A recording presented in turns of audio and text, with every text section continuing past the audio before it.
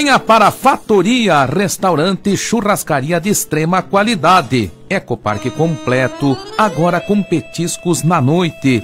Tudo para oferecer para você um espaço amplo e bonito, unindo amigos para uma conversa agradável na noite de Lagoa Vermelha. Aproveite bem a vida, deguste nossos petiscos, aberto para eventos para você e para a sua empresa. Bife livre na semana por 28 reais. Bife livre no final de semana a 30 reais. Espeto corrido sábado e domingo apenas 50 reais. Fatoria, venha com a gente. Na BR 285, fone para contato 3358-8156 ou pelo 999 36 39 88.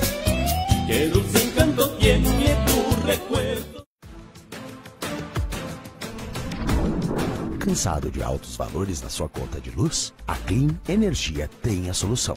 Através dos sistemas fotovoltaicos, você produz sua própria energia, economiza até 95% na fatura e fica livre dos aumentos de tarifa. Contribua com o meio ambiente, consumindo energia 100% renovável e não poluente. Trabalhamos com linhas de créditos específicas, onde é possível financiar seu investimento e pagar a parcela com a economia gerada pelo próprio sistema. Visite-nos ou solicite um orçamento sem custo. Clean Energia, a energia solar ao seu alcance. Na Avenida Leda Corse Rec, 635, Sala 2, em Ibiraiaras.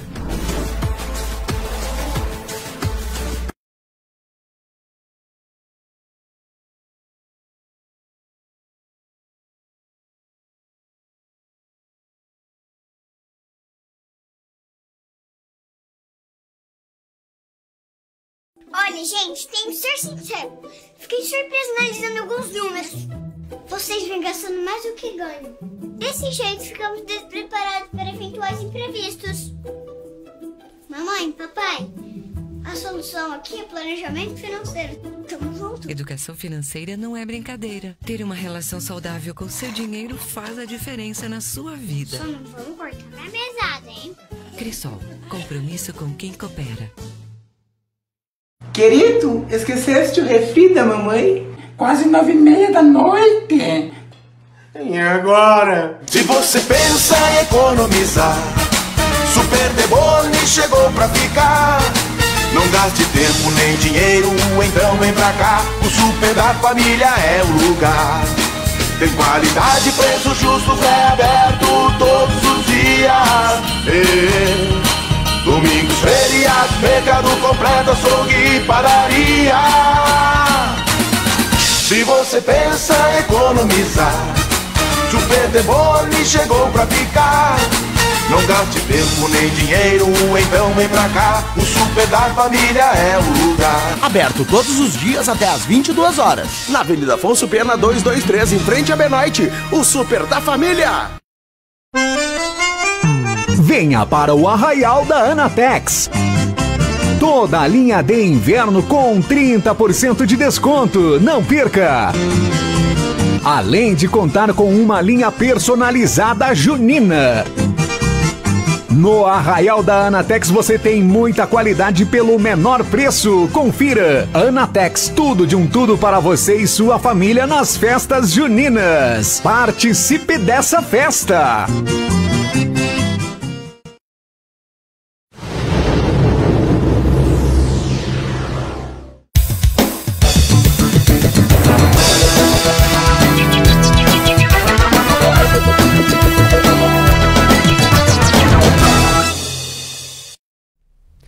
Olá, boa noite. Confira as notícias que são destaques para o Boa Noite Cidade dessa sexta-feira.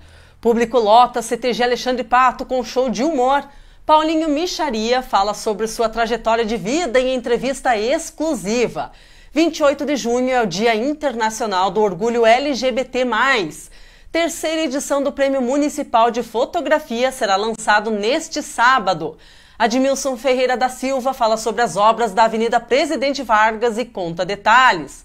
Brigada Militar, Corpo de Bombeiros e Polícia Civil realizam um minuto de sirenaço em homenagem aos soldados mortos.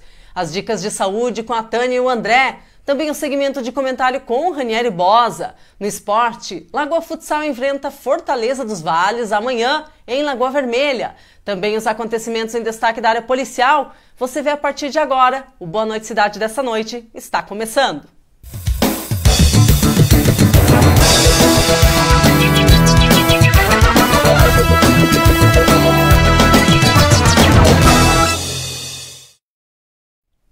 A parceria entre Prefeitura Municipal e SESC tem trazido vários eventos culturais para todos os estilos de público em Lagoa Vermelha. Na noite de ontem, quinta-feira, o CTG Alexandre Pato foi palco para a comédia e humorista Paulinho Micharia foi a atração. O agente cultural do SESC, Alcídio Schroeder Filho, fala sobre o show e também destaca que o município receberá outras atrações até o final do ano. Para nós também é uma satisfação enorme estar mais uma vez na Lagoa Vermelha e trazendo esse show magnífico do, do Paulinho, com esse público maravilhoso. Né? Então ficamos muito felizes. E como foi para vocês ter que transferir da Casa da Cultura para o CTG Alexandre Pato devido à procura da população? É gratificante você saber que desde que iniciamos essa parceria em 2017, os espetáculos vêm aderindo a um público cada vez maior. Esse espetáculo, pelas características, se possibilitou também trazer para cá para o CTG. Para nós é muito gratificante saber que a comunidade está apoiando, está prestigiando os, os eventos e valorizando né, esse, todo esse empenho que o SESC e a Prefeitura vem desenvolvendo nesse período todo. É normal que isso aconteça em outros municípios também, dessa procura tão grande de ter que transferir, ou você acredita que é pela cultura do povo de Lagoa Vermelha ser muito ligado às suas raízes tradicionalmente gaúchas? É assim, ó, os dois motivos, né?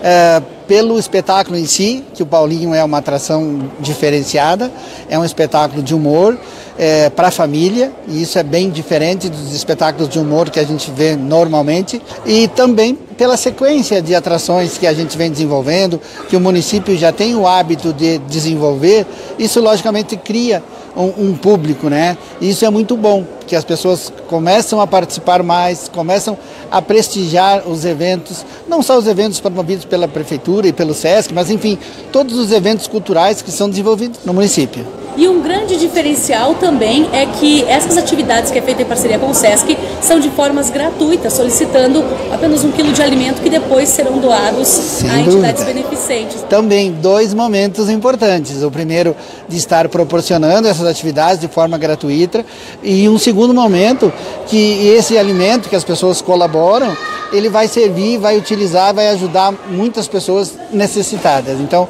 é duplamente, a, a satisfação é dupla, né?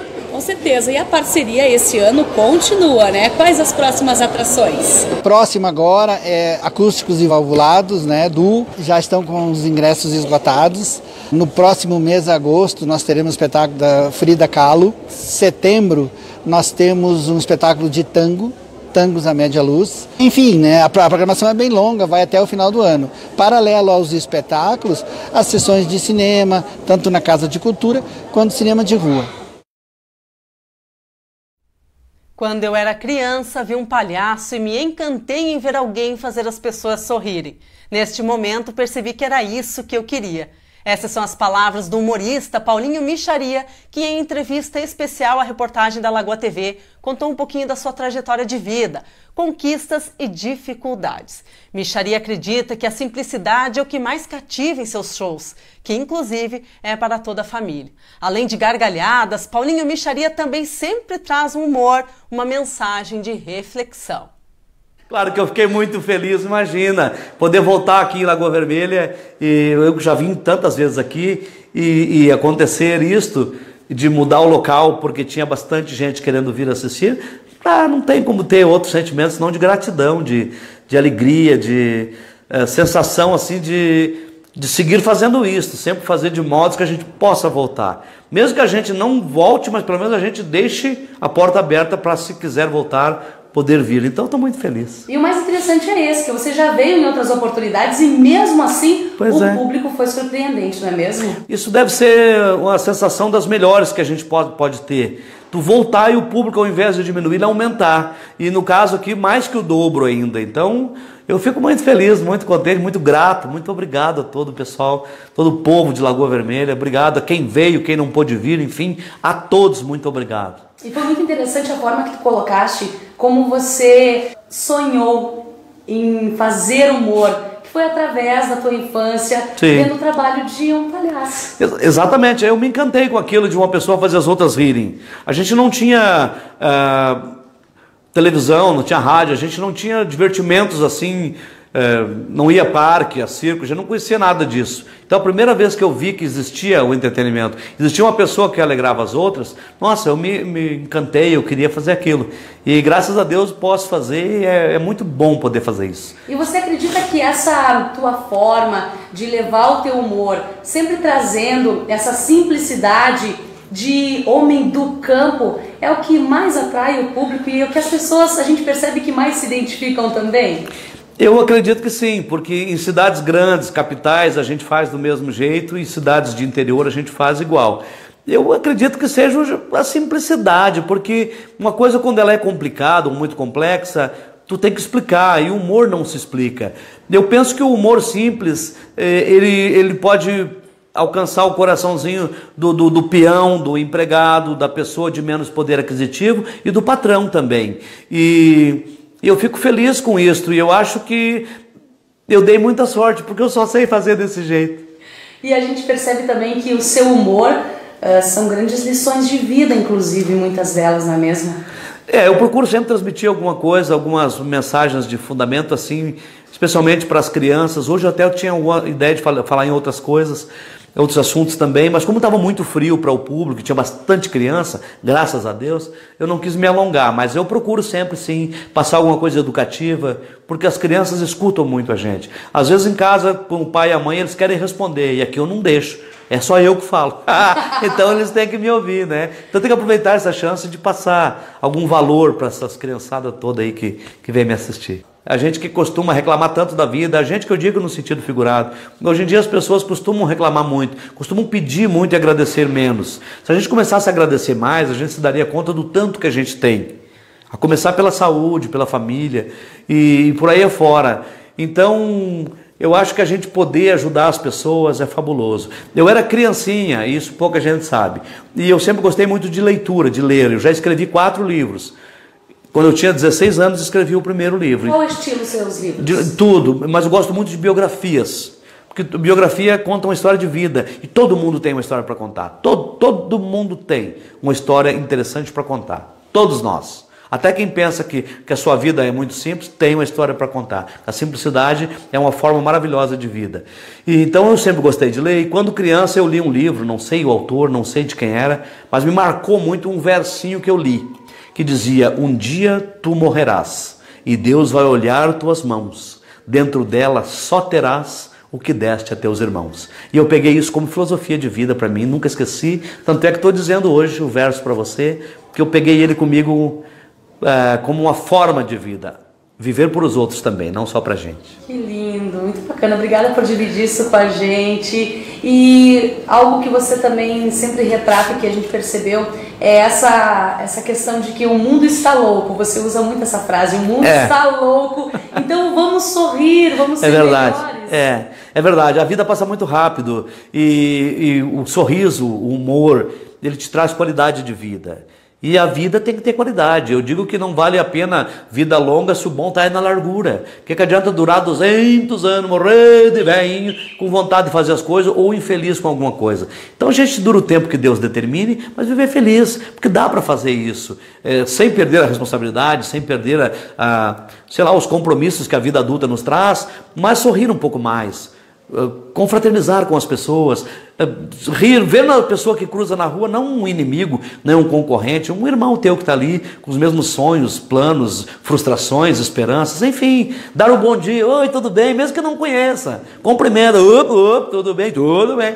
Eu, o cachorro me olha, eu converso, ô cachorro, entendeu? Às vezes as pessoas não respondem pra gente, mas eu faço a minha parte.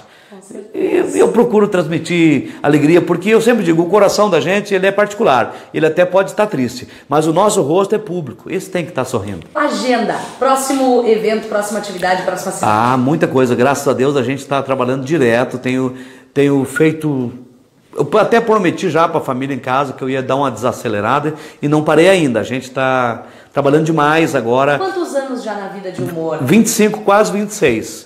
Mas a minha agenda é muito corrida. Esse final de semana a gente vai gravar, porque eu tenho agora o canal, né? Que é a Vila do Micharia.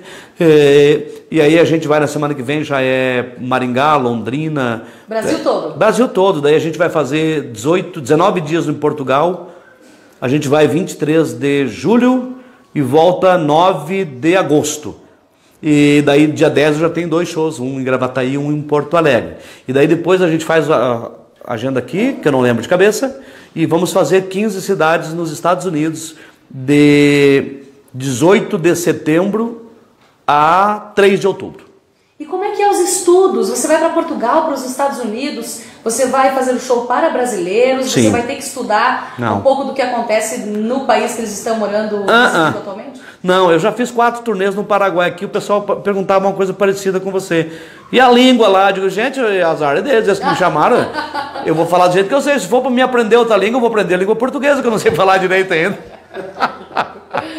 Muito obrigada pela sua disponibilidade. Sabe que a Lagoa FM Lagoa TV aí é de portas abertas também para sempre receber o amigo. Muito obrigado, um beijo no coração de todos vocês aí da emissora, a toda a equipe e a todos os telespectadores aí. Um grande abraço, um beijo no coração e vamos sorrir todos os dias, não deixe para amanhã, seja feliz hoje. Passa muito depressa. Nossa, parece que foi ontem que eu fugia de casa para ir nas festas. Agora eu já estou fugindo das festas para ir para casa, né? Então a gente vai ficando velho, não se dá. Vamos ser felizes enquanto a gente tem disponibilidade para isso. Yahoo, yahaha! Nós quem agradecemos a mensagem e o carinho do Paulinho Micharia. O Dia Internacional do Orgulho LGBT+, é comemorado nesta sexta-feira, dia 28 de junho. O principal objetivo é o de conscientizar a população sobre a importância do combate à homofobia para a construção de uma sociedade igualitária e livre de preconceitos, independentemente do gênero sexual. A Lagoa TV, além de ser um veículo de informação, tem um papel fundamental na comunidade e o de promover o respeito ao ser humano e a quem ele é. Eu ter falado pra ela que eu era lésbica foi mais ou menos eu ter falado pra ela que eu tinha matado alguém. E aí ela falou, eu não quero você mais aqui em casa. E olho pro lado, tava meu pai me olhando assim do outro lado da rua. E eu pensava muitas vezes em me suicidar. Você vai pro inferno. Você sabe disso.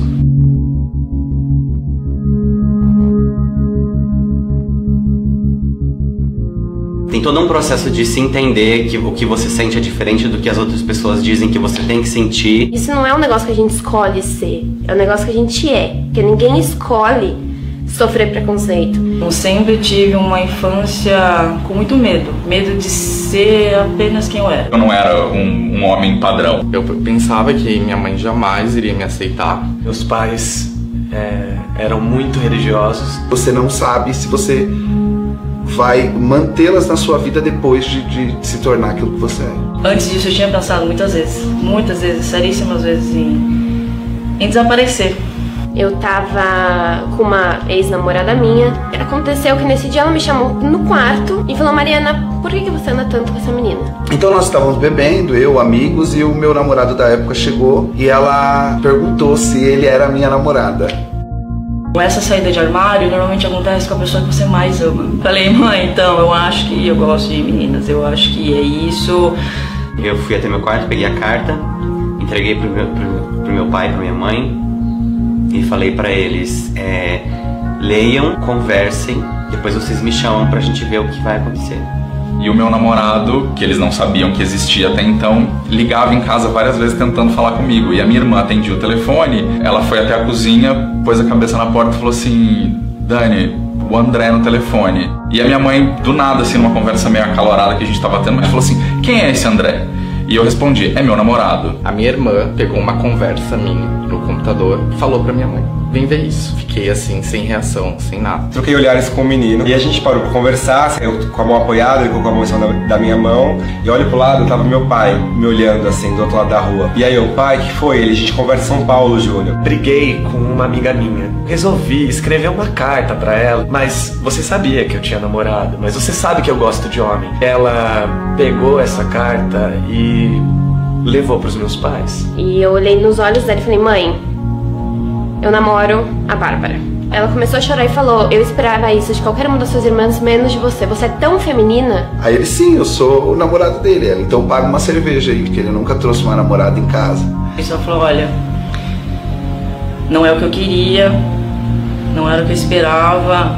Eram uns 10 anos para minha mãe entender. Acho que demorou uns 10 anos para eu ser vista como eu gostaria de ser vista na sociedade. Eu fui até lá, até o quarto. Os dois estavam chorando.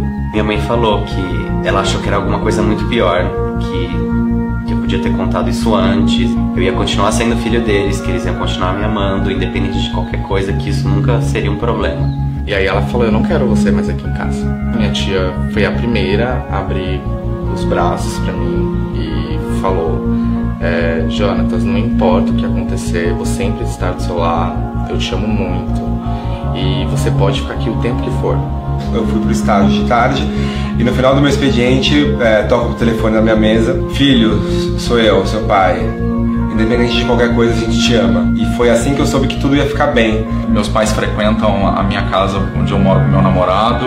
A gente vai até a casa dos meus pais. Hoje ela me aceita, ela me vê com outros olhos. E a nossa relação, assim, nossa, é maravilhosa. Ela me apoia, ela conversa comigo, ela me dá conselho, ela me pergunta das minhas namoradas. Aí eu vivi o melhor momento da minha vida, que foi um dia em que foi eu, a minha mãe, a minha irmã e o meu namorado para uma balada gay. Você vê o preconceito indo embora. E aí, depois de um tempo, as coisas vão ah, caminhando normal. E se você tiver pessoas que te aceitem, seja muito grato por isso. Hoje eu sou eu de verdade. Então, se alguém gosta de mim, é porque gosta de mim de verdade. E sai logo, sai logo do armário. O Poder Legislativo Lagoense irá lançar a terceira edição do Prêmio Municipal de Fotografia. Márcia do Carmo, presidente da Câmara de Vereadores, convida a comunidade para vir até a Praça Marechal Deodoro, em frente à Lagoa FM e Lagoa TV, trazer seu lanche, cuia de chimarrão, já que na oportunidade será realizada uma mateada e um piquenique. A atividade será das 14 às 17 horas deste sábado, 29 de junho.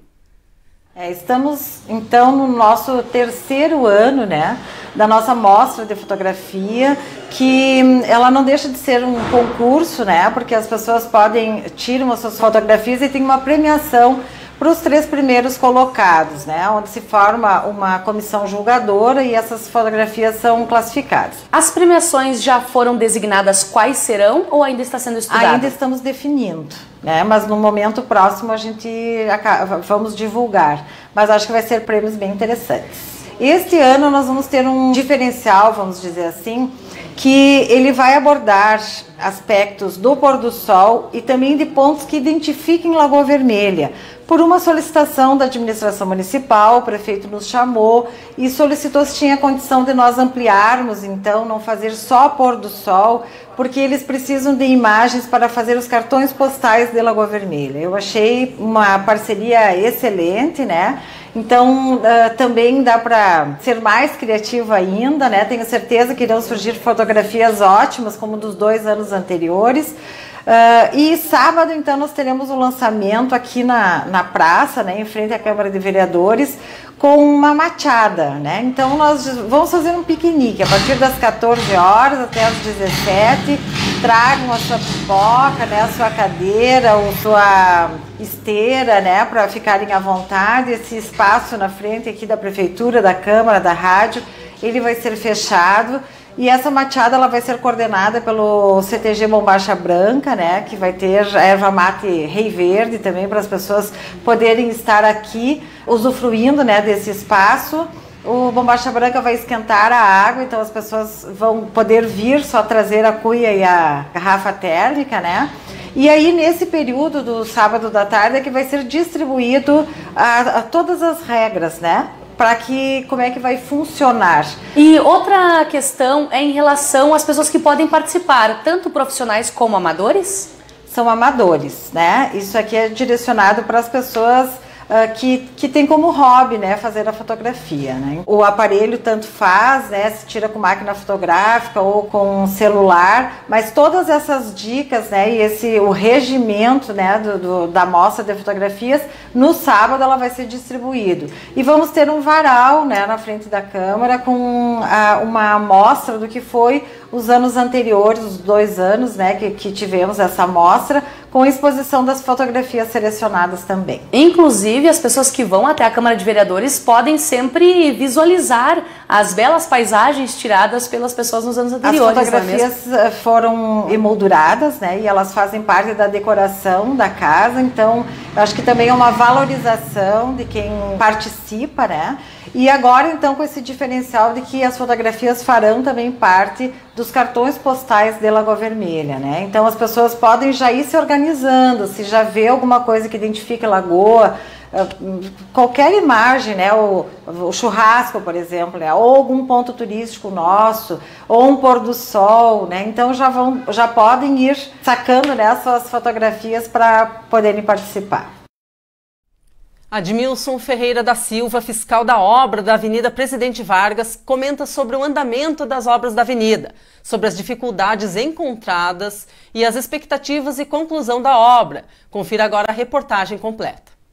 Hoje o nosso maior, a maior dificuldade que encontramos hoje na obra é com relação ao tempo, né? A questão da chuva, que acaba atrapalhando algumas coisas ali tem-se um cronograma de obras, esse cronograma está sendo uh, tentado né, seguir ele à risca, mas temos aí alguns empecilhos, né, que são esses dias de chuva, sabe, já, já recebemos a informação que o inverno né, será um inverno mais chuvoso, então isso é, digamos assim, que é o que mais dificulta o andamento da obra. Né. Tínhamos aí um, uma, uma parte que era, seria bastante demorada, que era um deslocamento de postes, né, na Avenida Presidente Vargas. Esse deslocamento ele já foi feito, já foi realizado pela RGE, então já está liberado e foram 34 postes, né, que foram uh, houveram a necessidade de ser deslocados. Uh, esse é um trecho que está liberado aí, então entre a mecânica Sapo, né, a chapeação do, dos sapos lá, no início da Avenida Presidente Vargas, até a altura do posto Poleto, então até a esquina do posto Poleto. Então esse trecho ele já está liberado, digamos assim, para que se dê procedência na obra onde que está, ela estava um, com o entrave desses postes. Então, com a remoção dos postes, nos possibilitou aí uh, uh, uh, o próximo passo que está sendo, já está sendo realizado, que é a nivelação do passeio. Né? Após esse passeio, esse nivelamento do passeio, já temos aí uma quadra e meia, onde que já se foi aplicada a base, já foi espalhado a base, né? para que possa ser uh, instalados os cordões e imprimado para então que se comece a, a se aplicar a, a, pavimentação asfáltica, a massa asfáltica no, no, no, caso. Então, com a retirada dos postes, isso abriu uma, uma cancha de trabalho muito grande, né, aonde que a empresa está trabalhando, está dando sequência no cronograma, aonde que então já estamos aí fazendo, realizando o nivelamento de calçadas e também espalhando a base. Então acreditamos aí que na próxima semana já se comece a vir a ser instalados os cordões, para que então se proceda aí com, com os próximos uh, com as próximas etapas da obra, que é a imprimação né, da base e a aplicação da massa asfáltica. Então aí, se o tempo colaborar, claro que contamos aí precisamos uh, da colaboração do tempo, acreditamos aí que em 30 dias já se comece a ter a, as primeiras quadras aí com a aplicação de massa asfáltica. Uh, e a previsão para término?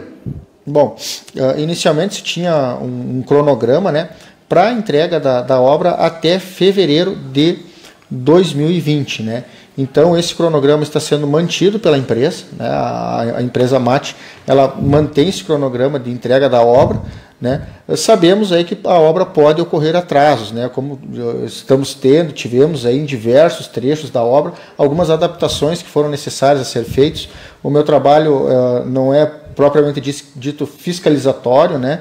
Uh, mas além de fiscalizar o andamento da obra, também aí acompanhamos né, todos, todas as situações e todos uh, os diversos entraves que vêm acontecendo no dia a dia, alguns problemas que vamos tendo no decorrer da obra.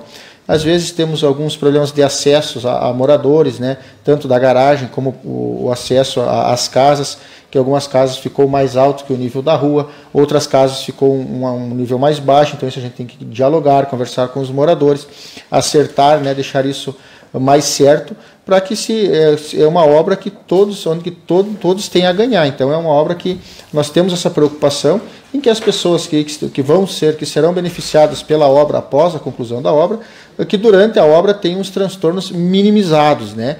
E estamos aí procurando sempre resolver da melhor forma possível, da melhor maneira possível, todos os problemas que estamos encontrando aí no decorrer da obra.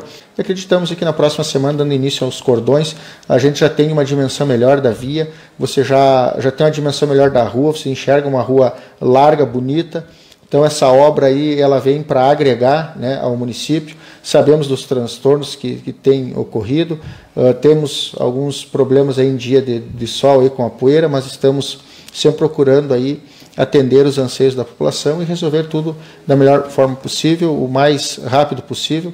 Sabemos que toda obra grande ela gera transtornos, né? Então entendemos principalmente a parte dos moradores, dos comerciantes, mas é uma obra necessária, né, para que posteriormente a obra aí sim, né, todo mundo possa usufruir aí da avenida com uma maior segurança, com uma maior, melhor qualidade de trafegabilidade na avenida. Na manhã dessa sexta-feira, 28, foi realizado nas dependências do Corpo de Bombeiros aqui de Lagoa Vermelha um minuto de sirenaço, em homenagem aos soldados mortos na noite de quarta-feira em Porto Alegre. Segundo o Tenente Paz, que falou a nossa reportagem, além de ser prestada esta homenagem aos colegas, serve também como um alerta à comunidade em geral, pois quando se perde um soldado da brigada, além de familiares e amigos, a sociedade também perde. É, a gente fez esse, esse momento de homenagem em todo o estado porque é uma maneira de fazer com que a comunidade, com que a sociedade que esteja é, apoiando, que esteja envolvido com as causas da, da comunidade, pare um pouco e faça uma reflexão. Nós vivemos tempos de, de, de, de dificuldade, onde o crime as facções se arregimentam, se tornam mais fortes e, e volta e meia acontecem esses, esse tipo de ação onde colegas que estão fazendo a defesa da comunidade acabam perdendo a vida, acabam deixando para trás pessoas, familiares, é uma situação bem complicada onde é, por trás de uma farda há um pai de família, há um filho, há um irmão, e é interessante que a comunidade nesse momento eh, em que a gente se reúne e presta essa homenagem e que faça um momento de reflexão para que possamos verificar o que queremos para o futuro. Nós sabemos o que queremos. Nós queremos a defesa da sociedade bem, nós queremos estar do lado da sociedade bem e gostaríamos que essa sociedade, essa sociedade que, que, que preza por valores e por direitos, estejam ao nosso lado. Estamos profundamente consternados com essa perda. E e, e peçamos aqui ao vivo que as pessoas que estejam ouvindo e que realmente, volto a frisar, façam uma reflexão. É um momento de reflexão.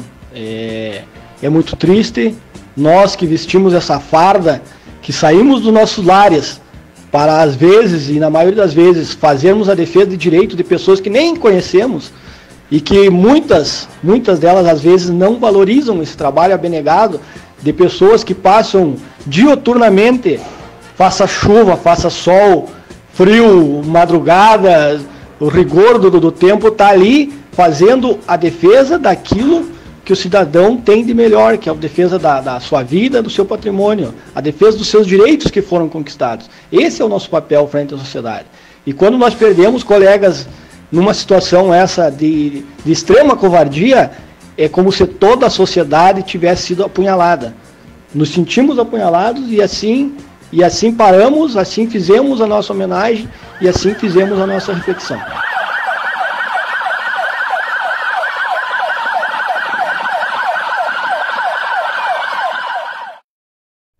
Nós lamentamos a, a perda de figuras tão importantes como essas. E agora vamos conferir o que a Tânia e o André nos trouxeram nas dicas de saúde de hoje. Olá, sejam muito bem-vindos a mais um programa de Dicas de Saúde e hoje a gente vai falar para vocês sobre a importância da atividade física para idosos. A gente já falou desse assunto, mas hoje a gente vai trazer algumas informações dos estudos mais recentes. Recentemente foram feitos estudos analisando dois grupos de idosos.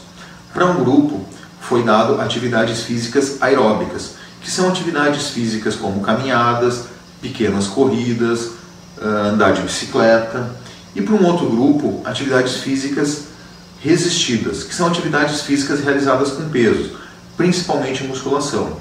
E ao final desse estudo, se analisou os resultados e os ganhos obtidos em cada um desses grupos que realizou diferentes tipos de atividade física. Bom, como resultado do estudo, a gente teve o seguinte: quem realizou atividade física resistida continuou com a sua manutenção adequada da flexibilidade. Já o grupo que realizou atividade física aeróbica teve uma manutenção adequada do seu equilíbrio. Por que, que eu estou falando de manutenção adequada?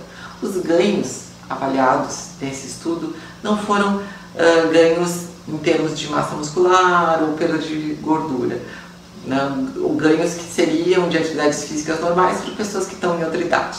Como eles são idosos, foi avaliada a capacidade funcional, né, André? Exatamente. E uh, nesses estudos chegou à conclusão que o recomendado é que a prática de atividades aeróbicas seja feita pelo menos cinco vezes na semana, durante um período de 30 minutos. E para as atividades físicas resistidas, que fossem feitas pelo menos duas vezes na semana. Ou seja, a união desses dois tipos de atividades físicas é muito importante para que os idosos continuem tendo as suas funções, as suas tarefas do dia a dia sendo executadas de uma forma normal, ou seja, se abaixar para pegar alguma coisa no chão, lavar uma louça, manter o equilíbrio enquanto caminham na rua, enquanto sobem uma escada. Então não é apenas um tipo de atividade aeróbica ou um tipo de atividade resistida, mas sim a união das duas são fundamentais para que se mantenha o corpo em pleno funcionamento. Exatamente, isso é muito importante, é um dado muito interessante para a gente estar tá ciente, para a gente estar tá cuidando aí dos nossos idosos, né? E da gente futuramente também. Exatamente. Então vamos deixar aqui o nosso contato através do e-mail imperthl.gmail.com e através dos nossos Instagrams, que são arroba TTStorm, arroba André Barreto 79. Muito obrigada e até o próximo programa. Até o próximo.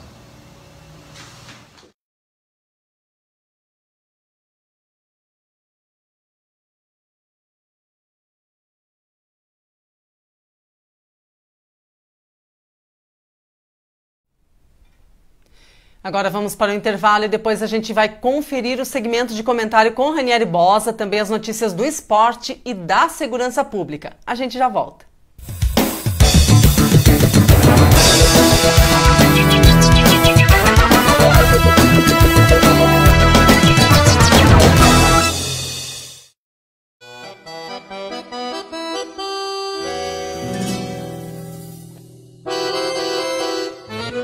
Venha para a Fatoria, restaurante churrascaria de extrema qualidade. Ecoparque completo, agora com petiscos na noite. Tudo para oferecer para você um espaço amplo e bonito, unindo amigos para uma conversa agradável na noite de Lagoa Vermelha. Aproveite bem a vida, deguste nossos petiscos, aberto para eventos para você e para sua empresa. Bife livre na semana por 28 reais. Bife livre no final de semana a 30 reais. Espeto corrido sábado e domingo apenas 50 reais. Fatoria, venha com a gente na BR 285. Fone para contato 3358 8156 ou pelo 999 36 39 88.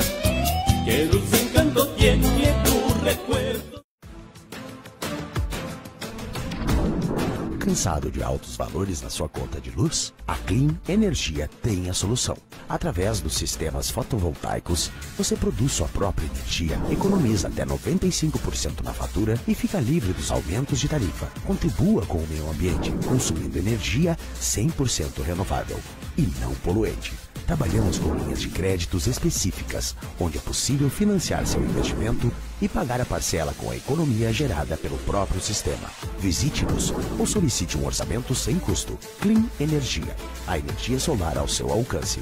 Na Avenida Leda Corse Rec, 635, Sala 2, em Ibiraiaras.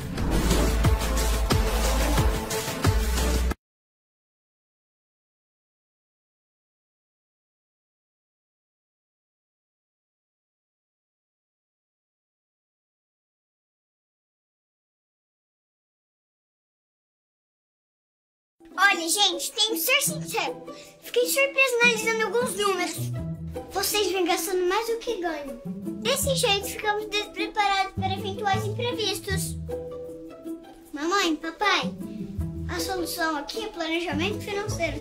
Tamo junto. Educação financeira não é brincadeira. Ter uma relação saudável com seu dinheiro faz a diferença na sua vida. Só não vamos cortar minha mesada, hein?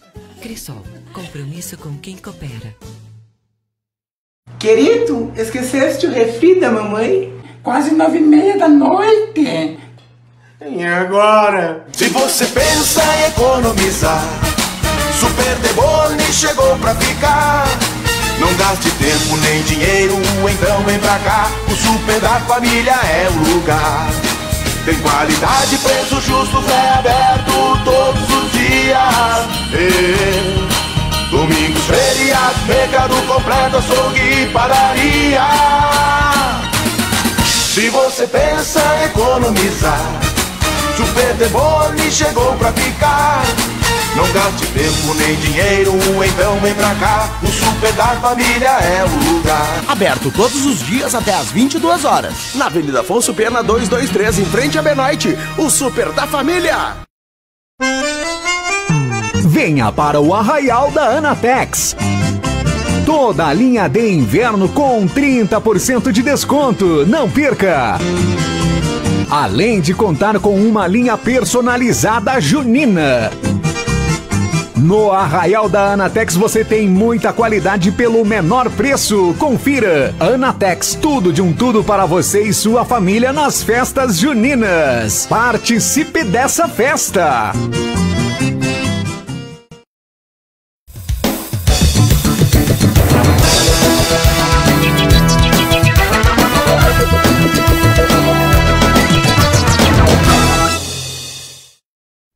Voltamos e agora o segmento de comentários com o comentarista de hoje, Ranieri Bosa.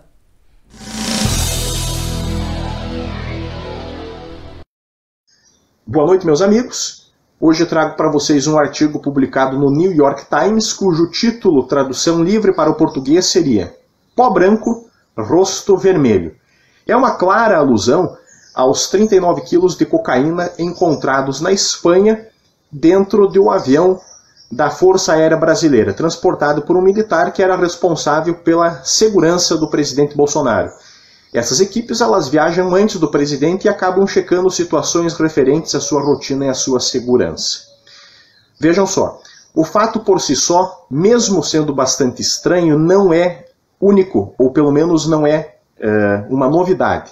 Não é a primeira vez que instrumentos da Força Aérea Brasileira são utilizados para o transporte de eh, drogas ou a favor do narcotráfico. Entretanto, duas coisas chamam a atenção. E não é nem a cobrança daquelas pessoas que não são simpáticas ao governo, muito menos a defesa das pessoas que são pró-governo Bolsonaro, mas a forma como os fatos estão se desenrolando. Vejam só, a verdade ela interessa a todos, tanto aquelas pessoas que são opositoras ao governo, principalmente ao governo que nesse momento deve estar desejando se livrar de qualquer tipo de vinculação com o fato ocorrido. No entanto, transformar as investigações em algo sigiloso nesse momento apenas reforça algo que ocorria lá no período militar, que acaba criando uma grande nuvem, uma cortina de fumaças que abre uh, muito mais o campo da especulação. Então, a quem interessa uh, esconder os fatos relacionados a esse processo? Se bem é verdade que esta pessoa, este militar, já trabalhou nas Forças Armadas realizando o transporte de diversos outros presidentes, o que não significa necessariamente que naquele período ele já realizasse o tráfico internacional de entorpecentes. Entretanto, é de conhecimento público que esse tipo de procedimento não corre em segredo de justiça e nem é necessário que assim o seja. E seria muito melhor se toda esta investigação ocorresse de forma bastante transparente, para livrar o presidente Bolsonaro de eventuais eh, dolos ou mesmo para demonstrar que em governos anteriores esses acontecimentos já eram típicos ou pelo menos eh, ocorriam. O fato é que a medida tomada pelo governo e a forma como ele vem rechaçando essas, uh, essas críticas demonstra uma falta de habilidade para lidar com o problema. Creio eu que o maior uh, respingo disso realmente seja na imagem do presidente Bolsonaro, cujo grande projeto nacional, se é que podemos chamar assim, seria a proposta em prol da segurança pública, o que vincula diretamente o combate ao narcotráfico.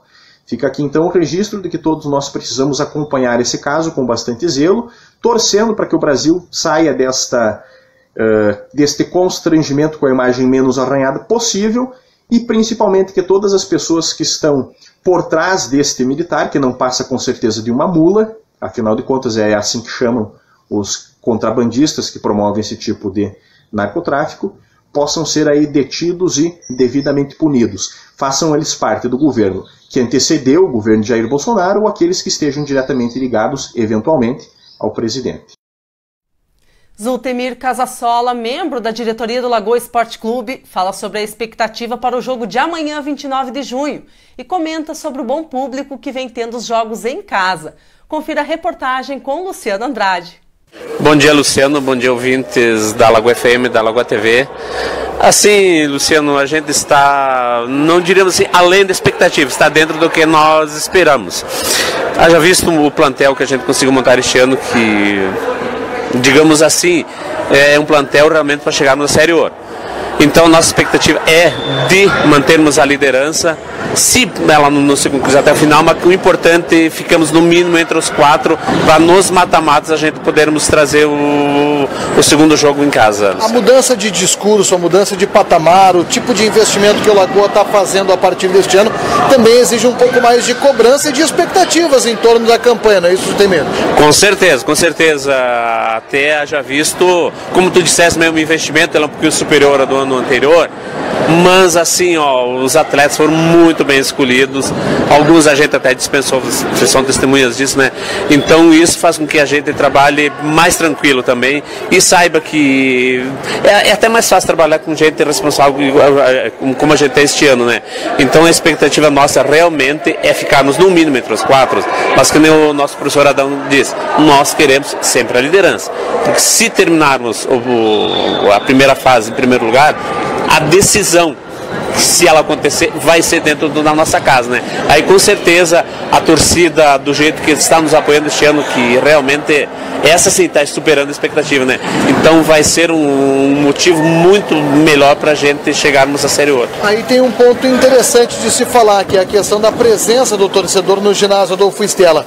A média de público tem sido superior aos anos anteriores, não é isso, Temir? Tá, tá sim. E até inclusive a gente conversando, com a, gente sempre conversa com a arbitragem e tal, né? Eles nos, nos perguntam assim, ideia de público, né?